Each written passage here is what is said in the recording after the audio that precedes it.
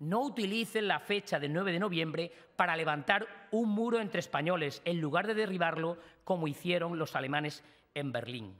En definitiva, es radicalmente falso que la Constitución dé cabida a su referéndum y es enteramente lógico que sea así porque esta y cualquier otra Constitución no reconoce el derecho de autodeterminación.